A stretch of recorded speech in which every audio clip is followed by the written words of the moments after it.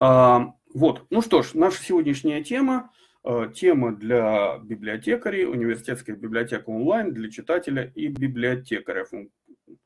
Так, э, да, функционал библиотекаря, все верно. А, это у меня тут просто такое двухчастное название. А, вот, сегодня мы займемся функционалом библиотекаря. А, вот. Э, и э, поговорим о том, э, что же библиотекарь может и какие особые права у него существуют в университетской библиотеке онлайн, которую я, собственно, сегодня представляю. Да?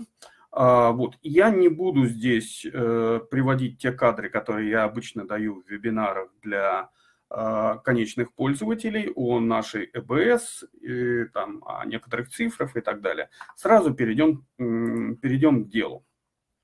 А, итак, в университетской библиотеке онлайн, как в информационной системе, э, э, да-да-да, спасибо. Я уже получил информацию, Людмила. Э, большое спасибо. Я вас обязательно посмотрю, почему вы не получаете рассылку. А, так, насчет материала. Материал вы можете скачать прямо здесь. Материалы по почте не рассылаются. А, так что просто э, нажмите на кнопочку «Файлы» и скачайте отсюда, скачайте отсюда э, презентацию. А, вот. Ну, собственно, я, я продолжаю.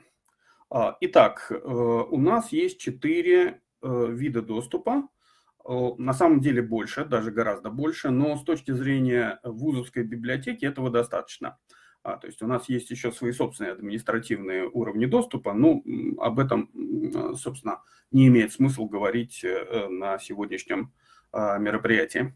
А, итак, с точки зрения вуза есть э, следующие уровни доступа. Это корневой пользователь или администратор. И, собственно, о его э, правах и функционале мы сегодня и поговорим. А, это преподаватель вузовский, ваш внутривузовский преподаватель. Это студент или читатель, то есть конечная, а,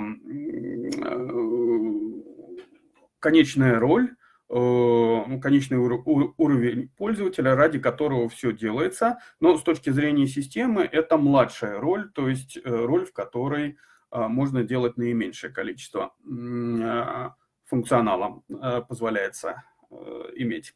А, вот. Ну и также абонент организации, отдельно я об этом говорить не буду, это роль а, очень схожая с преподавателем, ну, э, без некоторых его функций. Как правило, абонент организации присваивается, э, роль присваивается административному аппарату вуза, который хочет в библиотеке присутствовать.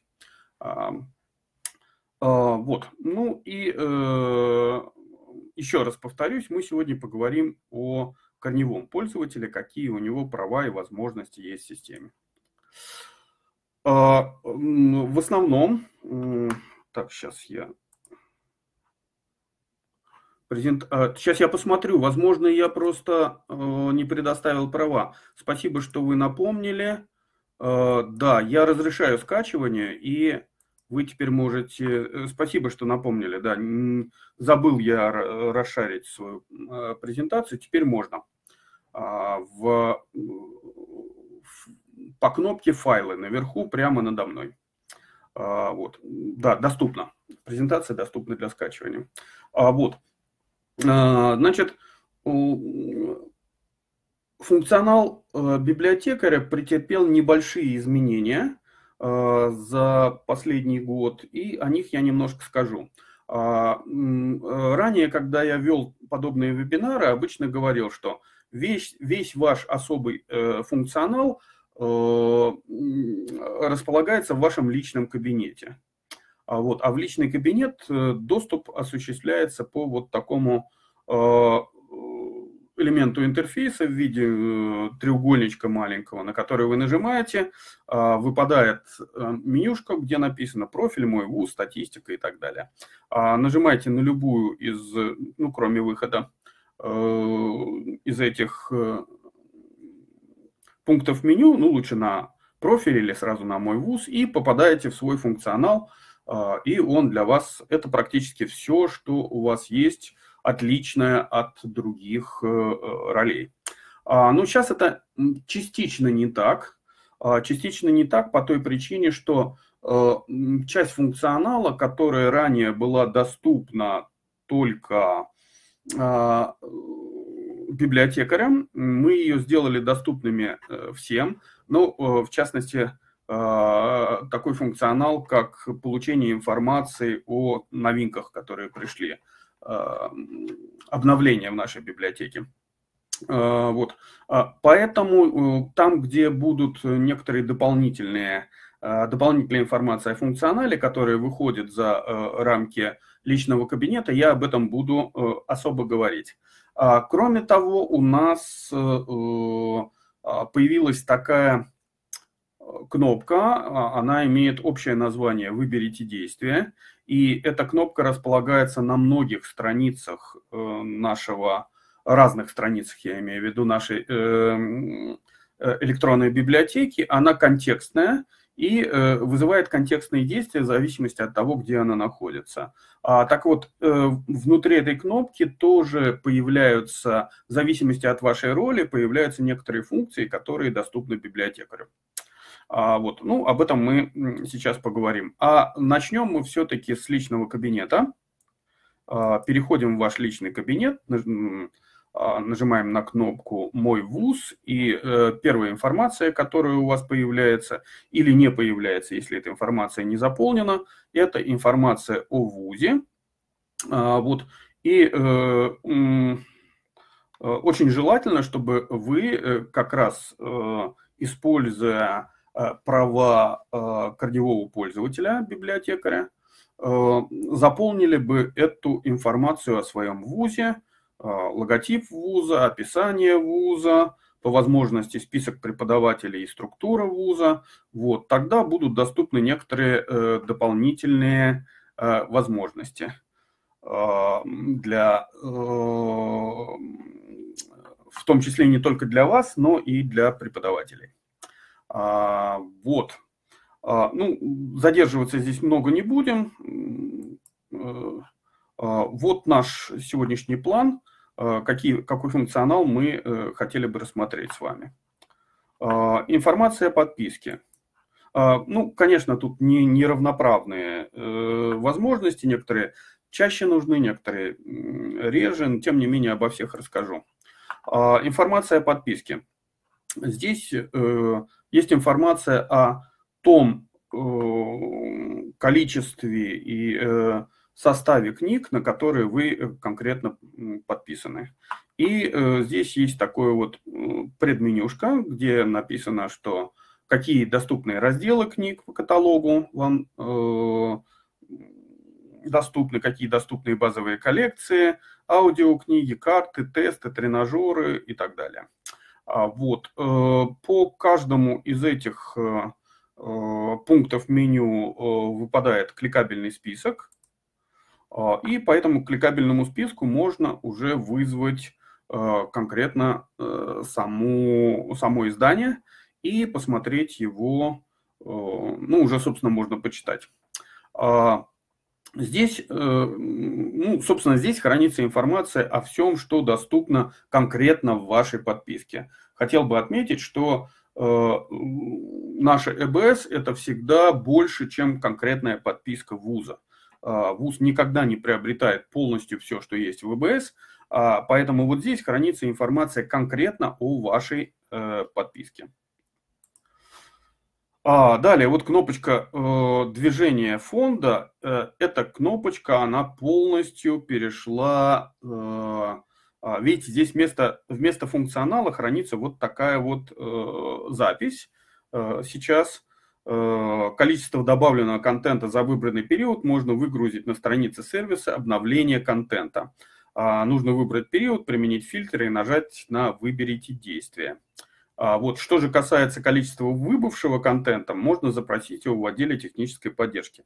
То есть это некое действие по почте уже, потому что этого контента э, немного, и по нему есть нюансы, э, связанные с тем, что на самом деле э, контент, у которого подходят сроки э, окончания договора, скорее всего, будет продлен и останется. Вот.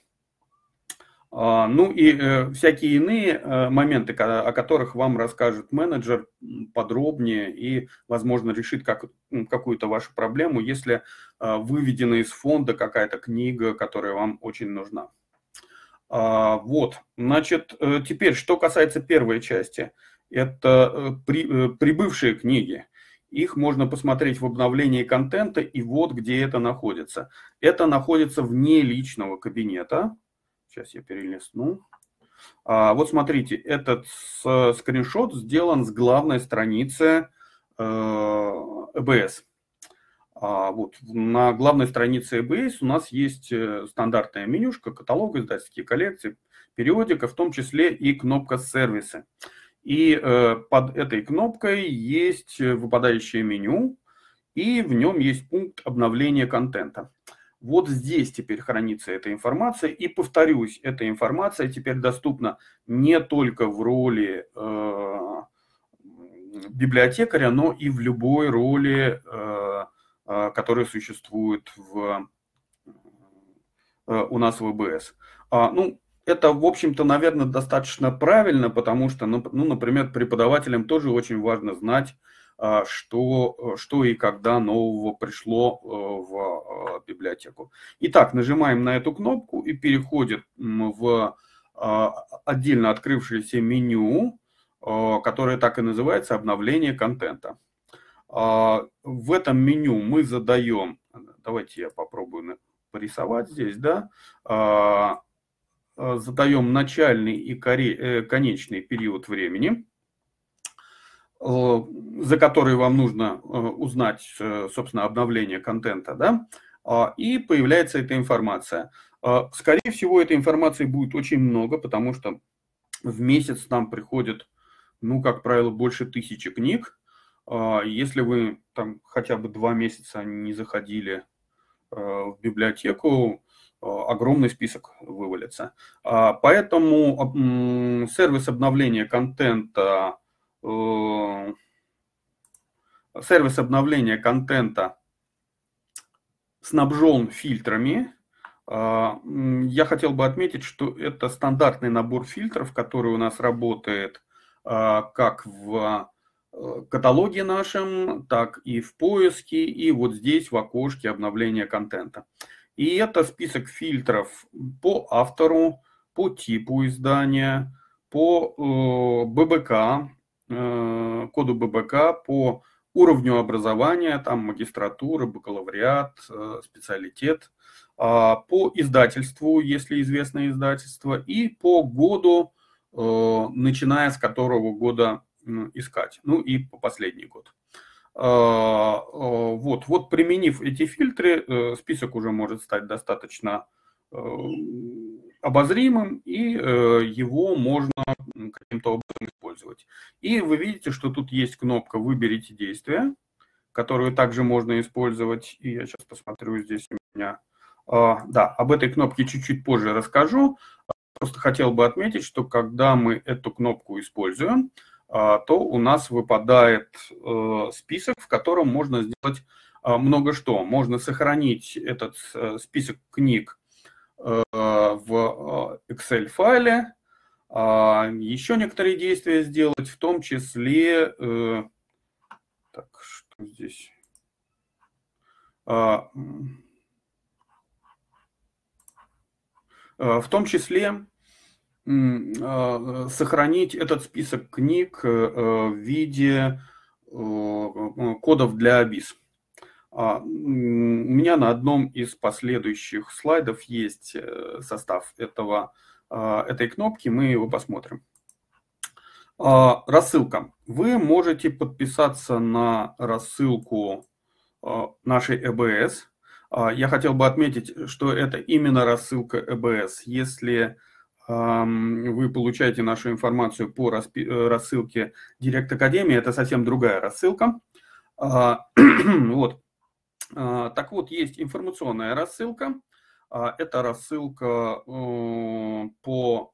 Э, здесь вы можете получать информацию о том, какие новые книги поступили по выбранным вами разделам. каталога. Вот, просто тогда вам это некий аналог да, предыдущего пункта, где я рассказывал о обновлениях. Вот, просто будете получать эту информацию по почте по тем по тем разделам каталога, которые вы посчитали нужными. Ну и можете подписаться на новости. Новости, правда, у нас не так часто приходят э, в ВБС. Э, вот, ну, тоже такая подписка возможна. Э, так, следующий пункт, достаточно насыщенный пункт, это пункт пользователя. А, в вашей ЭБС, кроме вас, библиотекарей, зарегистрировано еще какое-то количество пользователей. А вот, ну, собственно, ради которых это все и э, затевалось. Да? А среди пользователей, как я уже сказал, э, есть роли преподавателей, студентов, абонентов организации, ну и других библиотекарей. А, вот, ну, этих пользователей как-то надо подключать к системе. Для этого есть вот такой наш пункт меню, в котором э, личного кабинета вашего. Э, это функционал чисто библиотекаря, ни у кого больше его нету. Э, функционал корневого пользователя. И здесь э, у вас присутствует, э, так, сейчас я снова включу рисовалку, присутствует уже какой-то список, ну, скорее всего, если вы, вы не только подписались на АБС, а уже в процессе работы находитесь, здесь точно находится какой-то список, а, список всех пользователей системы вашего вуза. А, вот. Э, они здесь располагаются по некоторому принципу. Здесь э, а, их ID в системе, фамилия, имя, отчество, логин, e-mail, дата рождения, тип пользователя, ну вот это как раз та роль, о которой я говорил, э, студенты, библиотекари или, э, или преподаватели. Ну и здесь же можно запись э, стереть, запись, убрать запись, отредактировать ее или послать уведомление этому человеку. А, вот. Кроме того, у нас есть возможность добавить пользователя. Добавить пользователя можно в ручном режиме. А, это самое простое. Если вам надо срочно добавить одного человека, вы добавляете фамилию, имя, отчество, mail, э, придумываете ему логин, а дальше э, вот выбираете тип пользователя, преподаватель, студент или абонент организации. Э, новых новых корневых пользователей вы вставлять не можете. Э, это, если вам э, есть такая необходимость, вы должны через нашу техподдержку сделать этот процесс. Вот. Ну, это если вы хотите добавлять пользователей по одному, то поступать надо так. Если вы хотите добавить сразу много пользователей, то можете сделать это при помощи специальной таблицы Excel. И э, вот здесь есть кнопка, как, собственно, э, это, это сделать. А, э, есть специальный формат файла, который здесь, он достаточно простой приведен. Э, вот этот формат для э, этот формат для обновления данных, а вот этот формат для добавления данных. А, вот, то есть, если абсолютно точно новые какие-то люди пришли, то можно вторым форматом пользоваться. А, если обновить информацию, то первым форматом. Э,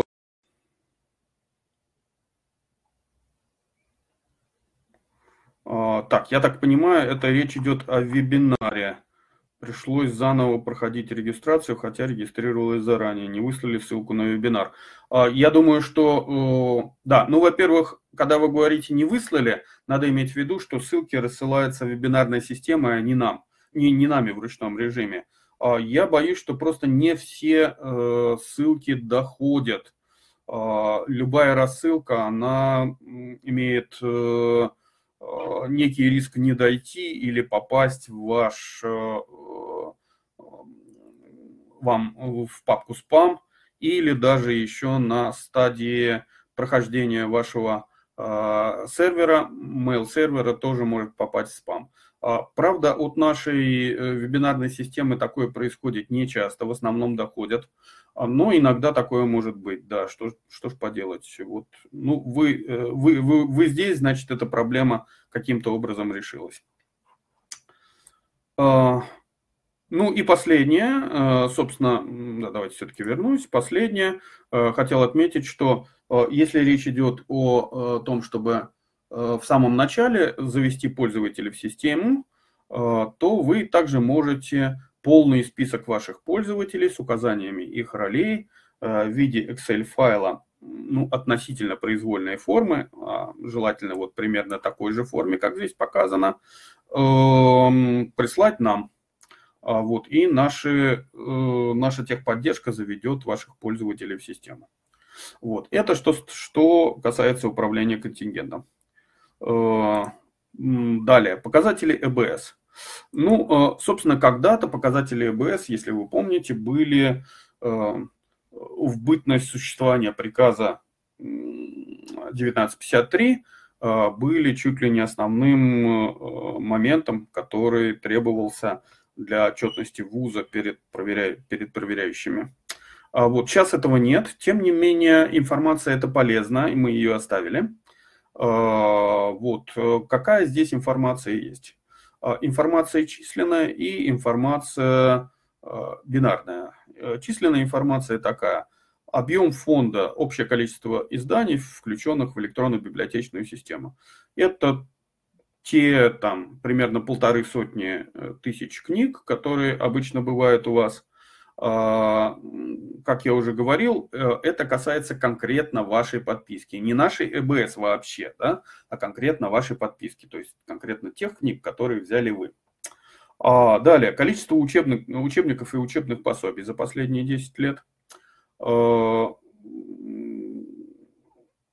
а, точнее нет, за последние 10 лет вот сколько их дано, а всего э, дано, вот видите, тут по некому вузу 15 э, тысяч э, учебников. Количество учебно-методической литературы 4 тысячи, там сколько-то не буду называть.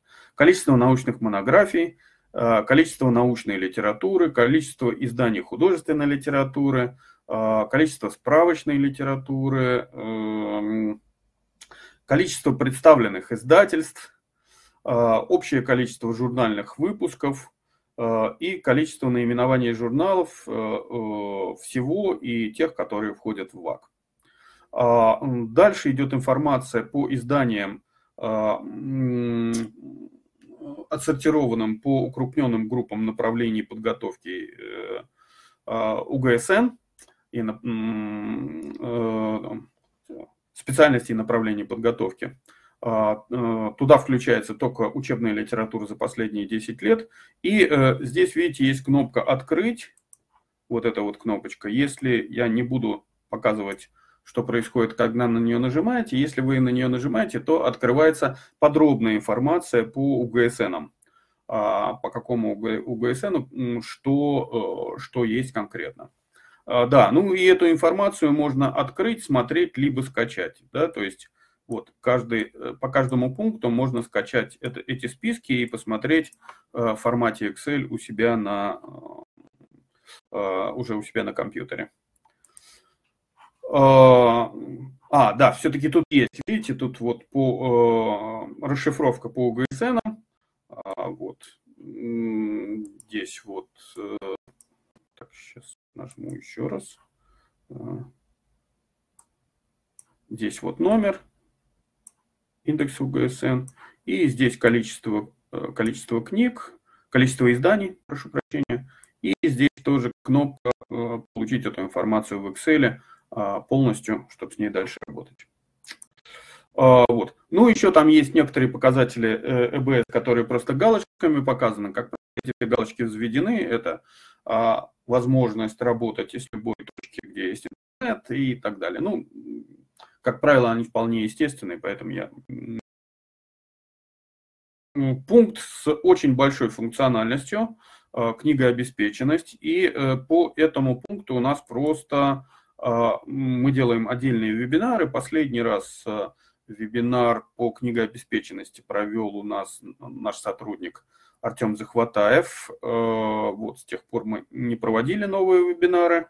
Вот, ну и там тоже примерно на час вебинар, так что а, кто интересуется, пожалуйста, вот перейдите по этой ссылке. По ссылке можно перейти, скачав э, только презентацию. А внутри вебинара ссылки не действуют, эм, поэтому не пробуйте прямо сейчас тыкать на эту ссылку. А вот, а вот если скачаете файл, то все будет работать. Следующий пункт. Э, получение информации э, для ABIS в формате RusMark, ну и в других форматах. А, подобных. А, вот, вот где находится этот пункт меню. А, ну и, соответственно, здесь можно либо, либо выбрать разделы, либо выбрать коллекции. Каждый из этих разделов можно выбрать один или несколько. И после этого э, внизу, вот, вот там вот, да, где-то, вот такая система кнопочек появляется. А, значит, вы можете выбрать э, формат вывода файла, четыре формата вывода. А, ISO Windows 1251 э, кодировка, это русская кодировка, точнее кириллическая кодировка. А, ISO UTF-8 это кодировка Unicode, то есть там, где все языки поддерживаются. А дальше простая текстовая кодировка. Эм, она интересна для того, чтобы просто просмотреть глазом это все. И кодировка XML, которая удобна, если эта информация будет использоваться а, вашими разработчиками для э, интеграционных всяких процессов. Это что касается кодировки. А что касается э, содержимого, оно может быть представлено в формате RusMark – Mark 21 или Irbis. А вот тоже надо выбрать одну из этих кнопок. А, ну и, наконец, э, вы можете выбрать э, эм, а, агрегирование. Одним файлом все, что, все, что вы заказали, или э, блоками по 100 записей. Один файл может оказаться очень длинный, и в нем будет трудно искать тогда лучше блоками по 100 записей. Ну, далее нажимаете на кнопку «Загрузить», и э, а, файл загружается на, на ваш компьютер. А вот далее э, здесь снова некая заглушка, которая, наверное, будет исправлена э, в ближайшее время. То есть э, это, опять же, э, связано с нашими обновлениями. Э, движение фонда оно нас э, отсылает снова к э, сервису обновления контента, в котором мы уже были. А, напомню, что сервис обновления контента теперь доступен всем, но не всем доступны те кнопочки, э, которые выпадают по те, возможно, те, тот функционал, который выпадает по кнопке «Выберите действие». И давайте посмотрим, что это за кнопка «Выберите действие». Вот видите, мы снова находимся в Э, сервисе обновления контента. Как туда попасть, я вам уже показывал. А, и показывал вот эту кнопку «Выберите действие». А, в данный момент эта кнопка отжата. И с тем списком, который вот здесь вот находится, да, какой-то список из десятков или сотен книг, а, можно делать э, многое. Можно в Excel выгружать, как я уже говорил, это могут сделать все. А вот для преподавателей, э, для библиотекарей есть э, э, возможность а, сделать вот это. Этот список скачать в Русмарке, Марк21 или Ирбисе. А, вот. Таким образом можно получить информацию о новых книгах и только их скачать в этих форматах и дальше подключить эти книги к базе данных Абиса. А, кнопочка «Отказы», э, пункт меню «Отказы», прошу прощения, а, находится вот здесь, недоступный контент, это последняя э, кнопка, э, последний пункт меню на, вклад, на вкладке «Мой вуз». Здесь мы находимся с вами. А, вот, здесь отображается информация о том, какие книги в нашей АБС есть, но нет конкретно в вашей подписке. Эти книги доступны для поиска, но недоступны для чтения. Если эта книга нашлась поиском и пользователь ее открыл страницу ее предпросмотра, то в этом случае у нас срабатывает некий э, счетчик и э,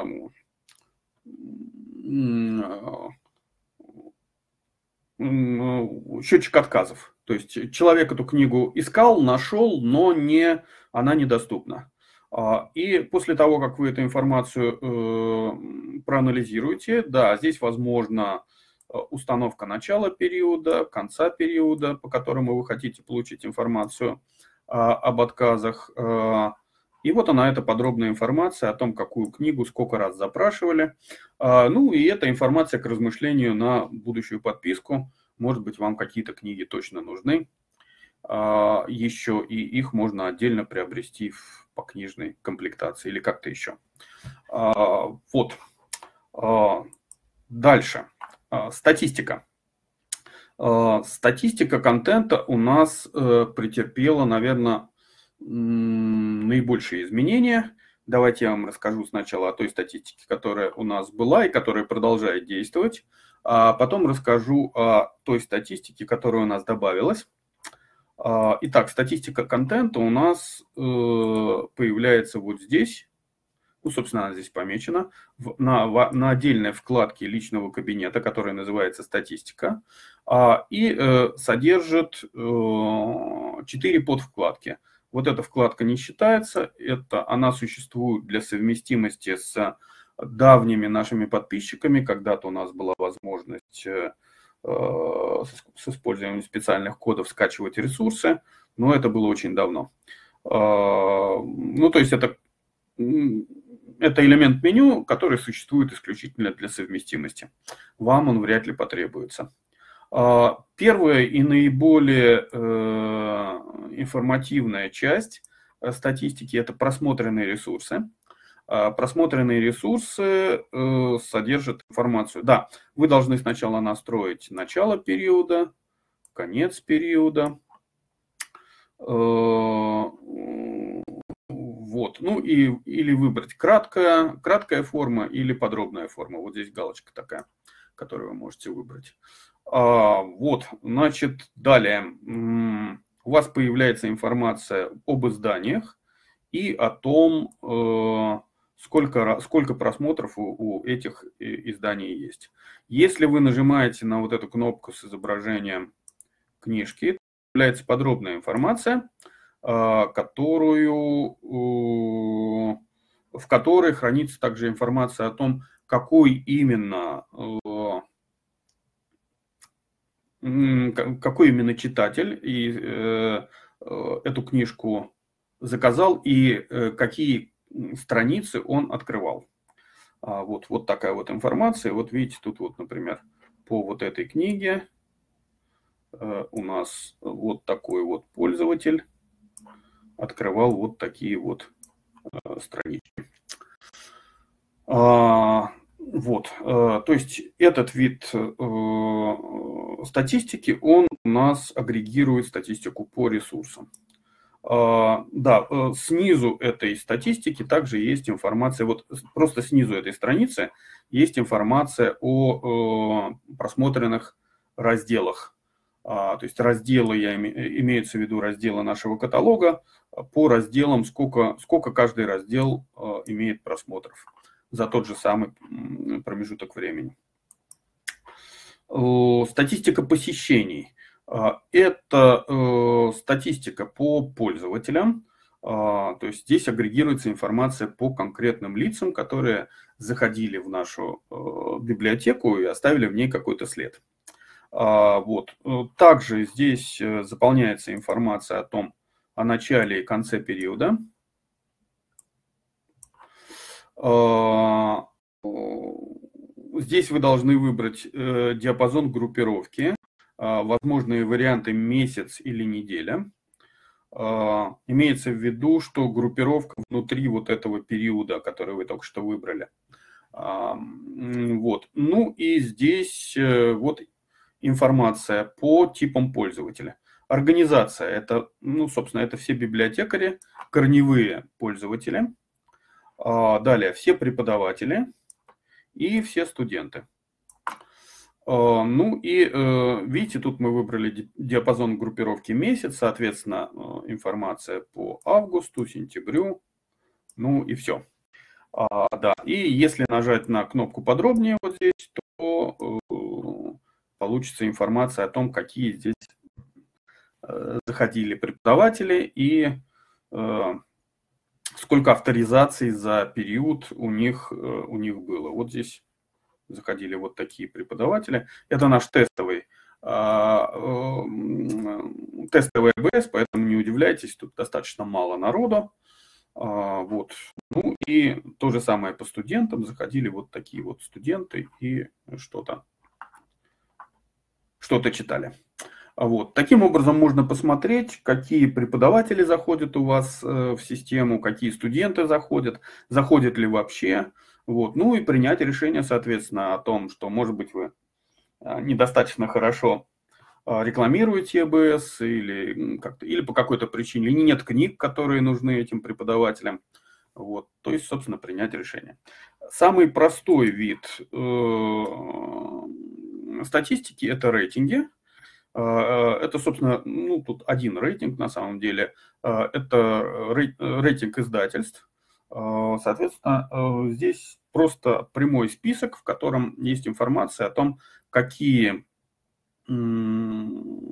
опять же, за указанный период времени, э, какие э, издательства больше всего э, просмотров вызвали. Вот. Ну и, соответственно, поэтому тоже можно принять какие-то решения.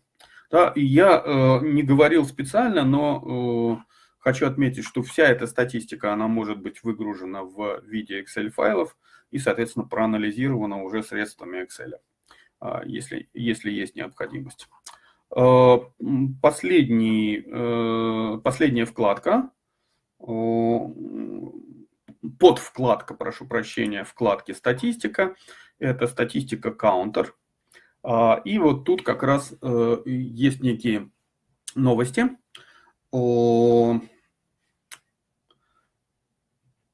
Сейчас я вам говорю о том, что у нас было уже достаточно давно, несколько лет. Это статистика по международному стандарту Counter, а, которая показывает э, э, в э, форме, в универсальной форме, по которой можно сравнивать статистики разных библиотек, а, выдают э, информацию, ну, в данном случае по семи разным формам. А, вот скачать можно только в Excel и, соответственно, использовать в Excel. А, каунтер существует для того, чтобы можно было сравнивать электронные библиотеки друг с другом, так как внутренняя статистика библиотек по их собственное представление о статистике, она может э, э, отличаться, и статистика может быть несравнима друг с другом. Вот. А вот э, статистика по каунтеру уже будет сравнима. А, так вот, что появилось нового у нас в последний момент? Вот смотрите, у нас появилась новая вкладка, которая, собственно, со временем заменит э, вкладку «Статистика». Называется она «Статистика АПР», и в ней есть пункт, который действует уже сейчас, который называется «Каунтер э, версии 5», то есть самый новый каунтер а, самый новый формат каунтера. А, вот, и здесь есть пять разных, э, вот здесь вот пять разных отчетов, которые можно использовать. Впрочем, э, эти отчеты, сразу хочу отметить, они для человека не очень удобные. А, то есть э, они больше готовы к тому, чтобы их использовать их при а, неком машинном процессе, который будет их сравнивать. И поэтому на самом деле э, самый правильный смысл и самый правильный способ использовать отчетность по каунтеру а, это подключить нашу ЭБС э, к вашей системе статистики, которая, собственно, и будет это все эту статистику обрабатывать. Для этого есть здесь специальный ключ. Сейчас я покажу, как он выглядит, если на него нажать. А, вот это специальный ключ API, который надо передать а, специальному а, программному обеспечению, которое называется Sushi API. Вот так вот оно написано. Вот. Это программное обеспечение специально создано для того, чтобы сравнивать брать у, по э, вот этому ключу из разных электронных библиотек информацию и потом в э, визуальной хорошей форме это все показывать.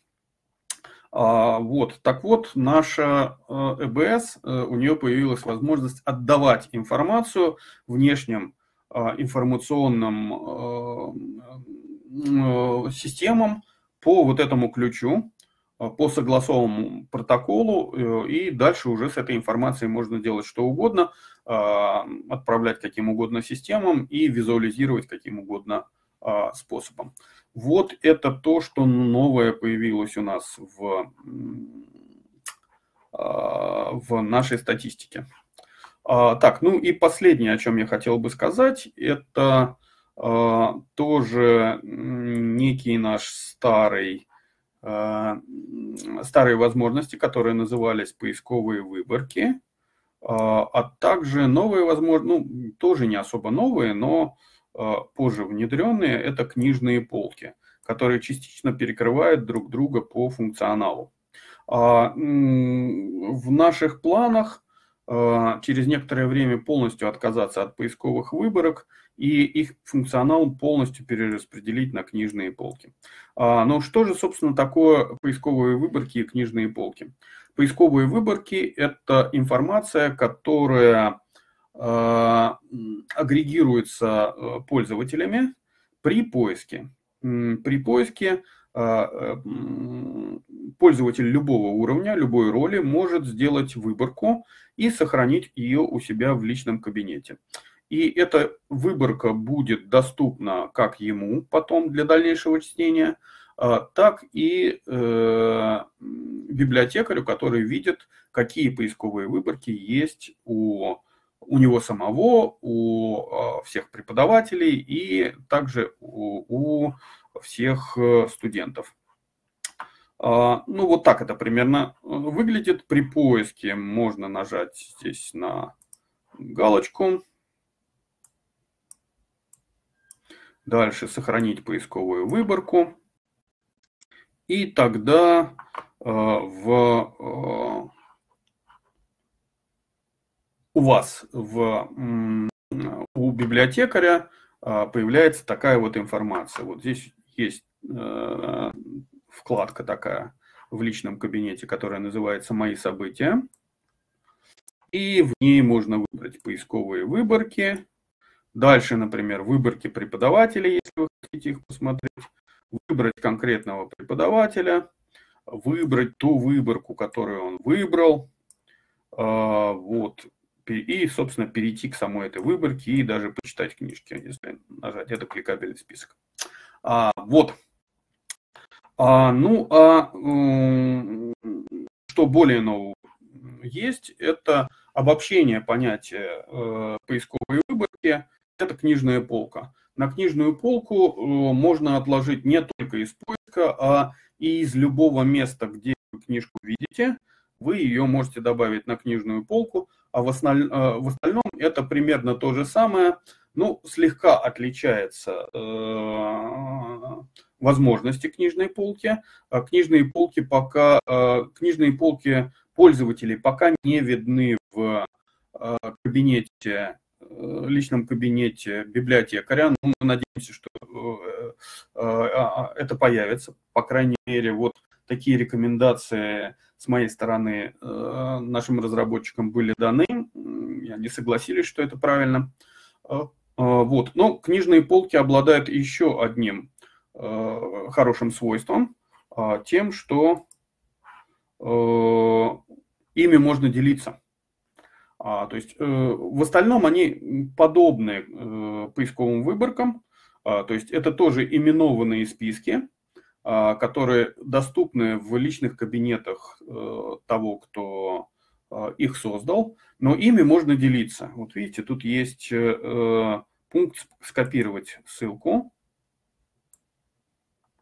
И скопировать ссылку, эм, в принципе, э, а дальше любым способом информационным, каким угодно, а, хоть бы даже и через телефон э, эту ссылку назвать, но удобнее, конечно, переслать через какой-то э, мессенджер. А, высылаете группе своих студентов, либо другому преподавателю, либо вообще любому другому лицу, и э, по этой ссылке эта книжная полка становится доступным э, этим людям. А, очень удобно для того, чтобы собирать комплекты книг для первокурсников, для э, тех студентов, которые учатся на, каком-то конкрет, на какой-то конкретной эм, каком-то конкретном предмете преподавателя, вот, и потом этот преподаватель создает книжную полку и делится ею с, со своими студентами. Им уже не надо эти книги разыскивать. А, ну, то же самое может, может касаться и а, библиотекарей, которым может э, быть удобным, а, ну или их могут даже обязать э, создать, например, книжную полку для первокурсников, для первого семестра. Первокурсники, как известно, еще ничего не умеют, да, в том числе и ВБС еще ничего не умеет. А вот, поэтому для них очень важно книги иметь вот прямо, можно сказать, по, в одном клике э, мыши. Да? И вот такая возможность появляется, если им скинута ссылка на специальный набор литературы, который важен для них на их первом семестре, например. Вот что позволяет книжная полка, и вы видите, что ее функционал пересекается с э, поисковыми, поисковыми выборками, мы от поисковых выборок потихоньку будем отказываться и весь их функционал будем переносить а, в книжные полки. А, ну вот у меня, собственно, и все по нашей сегодняшней теме. Я готов ответить на вопросы. Если они у вас есть, мы с вами сегодня уложились ровно в час. Вот, а пока я вам готовлю информацию о сертификатах.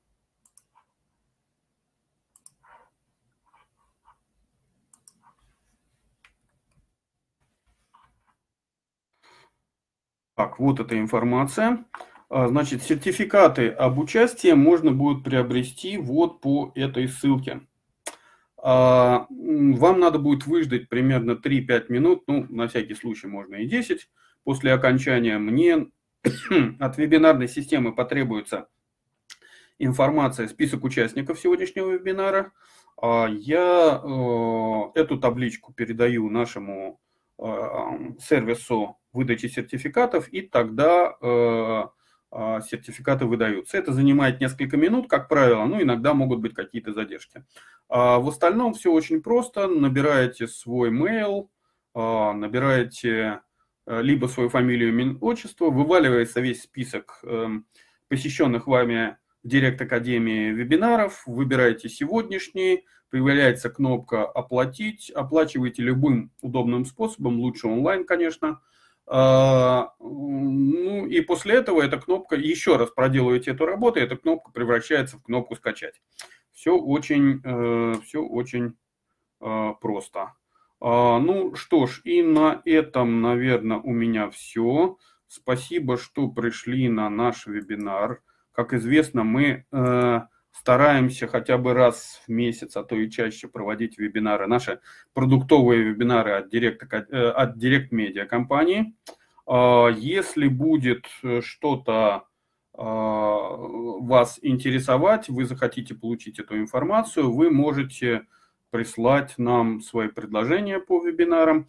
И если для ваших студентов надо провести вебинар от э, компании Direct Media, тогда через вашего менеджера заказываете этот вебинар, мы его тоже а, проведем. А, вот, ну что ж, на этом я завершаю наш вебинар. Всем спасибо. Приходите на вебинары Директ Академии, а мы постараемся. Давайте я следок снова покажусь, а, чтобы попрощаться с вами. Вот. Приходите на вебинары Директ Академии, мы стараемся сделать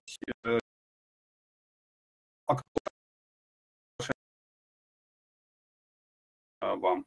А если, кстати, у вас есть э, какое-то предложение по спикерсу, по спикерству или кто-то даже сам, может быть, хочет с какой-то интересной темой выйти, а, обращайтесь к нам, рассмотрим этот вопрос и вполне возможно проведем вебинар с вашим участием. Всего доброго, до новых встреч в Директ Академии.